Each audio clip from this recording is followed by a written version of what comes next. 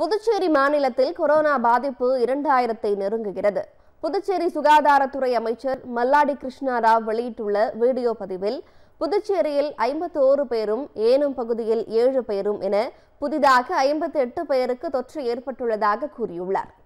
இதுவரை ஆயிரத்து எண்ணூற்று தொன்னூற்றி எட்டு பேர் பாதிக்கப்பட்டுள்ளதாகவும் அதில் ஆயிரத்து அறுபத்தி ஆறு பேர் குணமடைந்து வீடு திரும்பியுள்ளதாகவும் அவர் தெரிவித்துள்ளார். ஒரே நாளில் மூன்று பேர் உயிரிழந்துள்ளனர். இதனால் பலி எண்ணிக்கை இருபத்தெட்டாக அதிகரித்துள்ளதாக அவர் கூறியுள்ளார்.